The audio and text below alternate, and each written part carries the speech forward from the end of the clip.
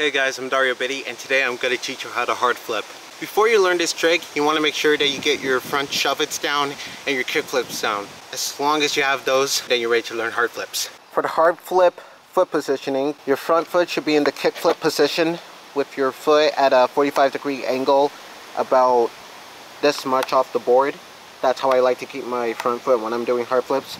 And my back foot is in that uh, pocket in order to give it the full front shove. Your foot placement should look like this when you're doing hard flips. When you see skaters do it, it flips vertically in between their legs and all the way around.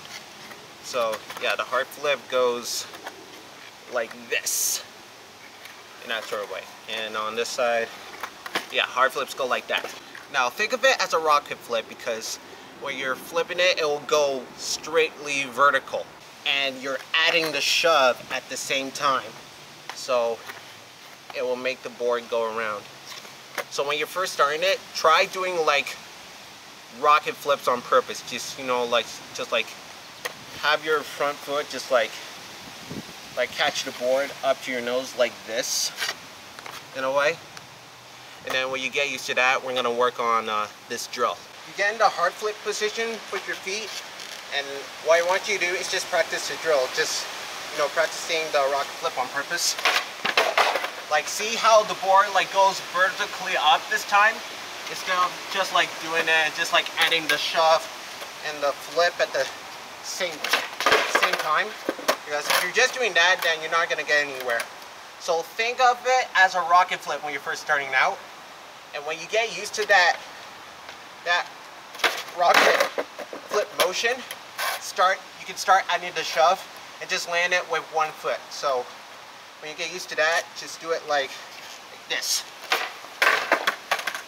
Like, you know, get used to how the board, how the board is flipping. So all you have to do is just get used to that motion.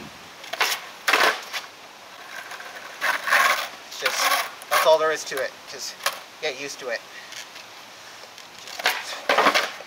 Okay, I think you guys know what I mean by that.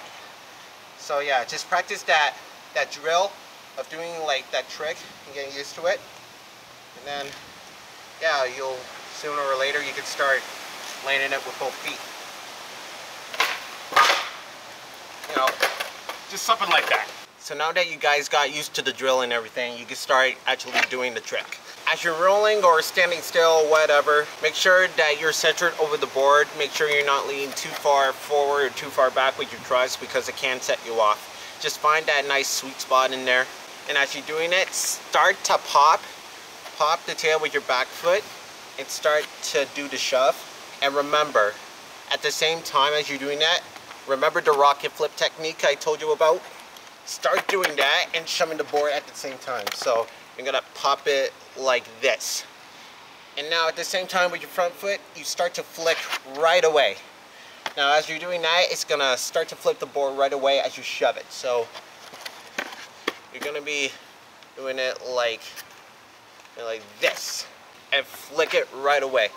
As you're doing that, it's gonna be doing the whole flip. Now, as it's in the air, and after you flick it, you know, whatever, get your feet out of the way because this is going to go in between your legs. Like, as you're doing the trick, eagle spread them. So as you're doing that, keep your feet out of the way. And as the board comes around, you'll probably want to start to crouch your feet. Like, you know what I mean? Like, crunch your feet in because the board's going to come around and as you see the grip tape come around you're going to stop it down and then you're going to roll away. And that's how the hard flip is done